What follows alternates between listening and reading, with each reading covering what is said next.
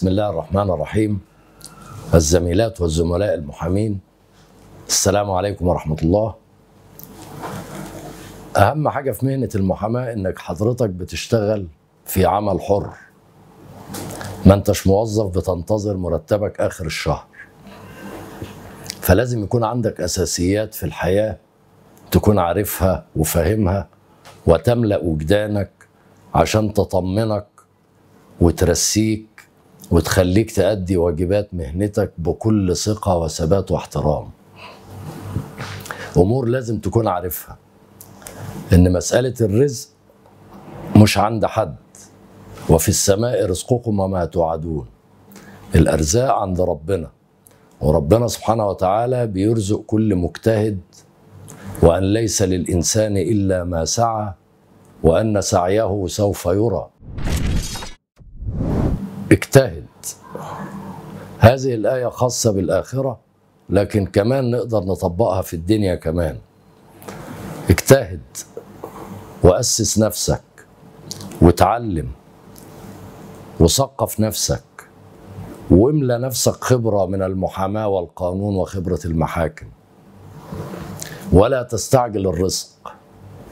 واعلم أن ما أصابك لم يكن ليخطئك وما أخطأك لم يكن ليصيبك. من المسائل المهمة جدا اللي بتفرق محامي عن التاني. المحامي المستعجل اللي عايز يكسب فلوس بسرعة. المحاماة مش كده. المحاماة في بدايتها مرهقة جدا.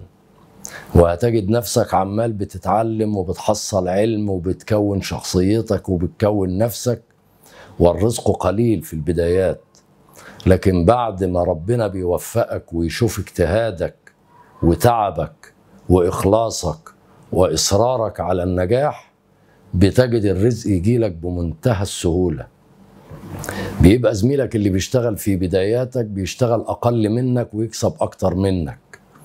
بعد فترة أنت بتشتغل أقل منه وبتكسب أكتر منه كتير جدا. وده فرق مهنة المحاماة ودي مشكلتها كمان في نفس الوقت. لازم تختبر المحامي. لازم المحامي يتعب فيها جدا في بداياته ويصبر ويتحمل.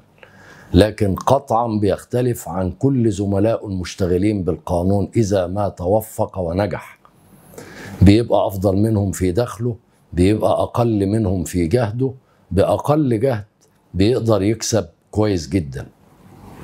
دي من الأمور اللي لازم ننبه ليها الأساتذة المحامين إنك في بداياتك لا تيأس ولا تستعجل ولا تنزعج من المواقف لأن كتير من الزملاء بيبقوا حابين المهنة ونفسهم يكونوا محامين لكن ما بيقدرش يجتاز هذه الفترة فترة البداية لأنها فعلا بتبقى صعبه صعبة لأنها فعلا بتبقى مرهقة لكن بعد ما بيجتازها بيكون حد مختلف عن كل أقرنائه المشتغلين بالقانون في المجالات الأخرى خلاف مجال المحاماة. ولازم الواحد يكون زي ما ربنا سبحانه وتعالى بيقول أنا عند حسن ظن عبدي بي. فأحسن الظن بالله. ربنا يكرمك وتفاءل خير وصمم على طلبك بأنك تكون محامي ناجح ومجتهد. ما يغركش النماذج اللي هتشوفها مش هتكون مبسوط منها. بص للنماذج اللي اجتهدت ونجحت وحققت النجومية في المحاماة وقول أنا هكون زيهم بل أحسن منهم كمان. زي المثل ما بيقول كن جميلا ترى الوجود جميلا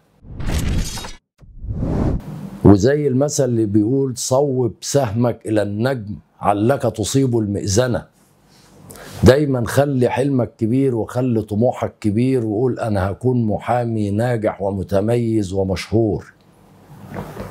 وقول لنفسك إن المحامي الناجح والمتميز والمشهور لن يصل إلى هذا إلا بعد أن يجتاز فترة البداية وما أصعبها.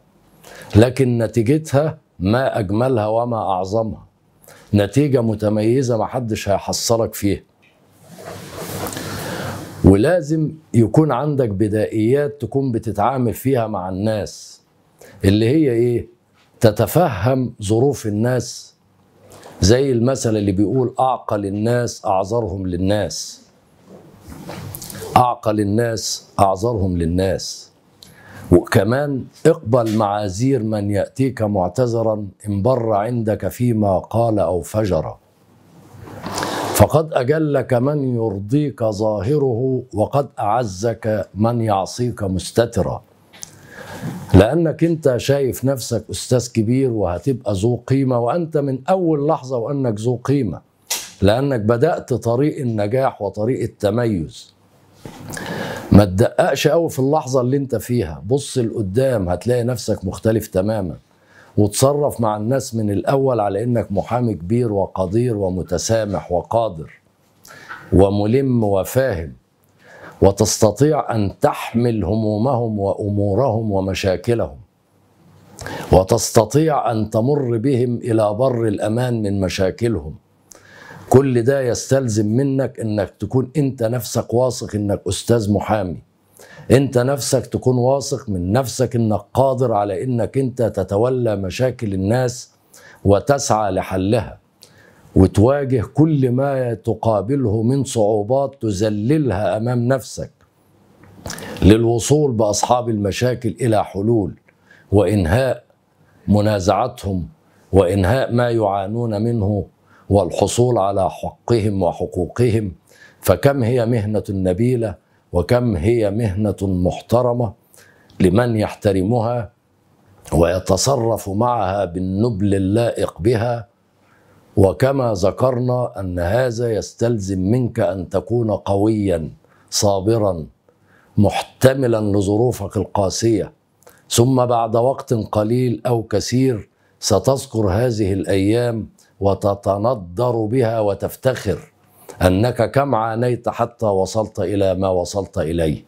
ثم بعد ذلك انظر إلى زملائك الذين التحقوا بالوظائف والمناصب. قطعا ستجد نفسك أفضل منهم وسيشار إليك بالبنان. واميز ما يميزك عنهم إن هو بيبقى صفته في مهنته والوظيفة غير لصيقة بالإنسان قد يفقدها في أي لحظة. أما أنت صفتك وكيانك في اسمك الأستاذ فلان المحامي. اسمك هو القيمة اسمك هو الكيان اسمك هو من يستحق أن تبنيه وأن تجتهد وأن تكافح من أجله.